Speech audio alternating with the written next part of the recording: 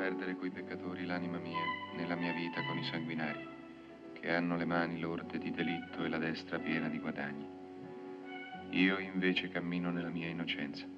Riscattami, o oh Signore, abbi pietà di me.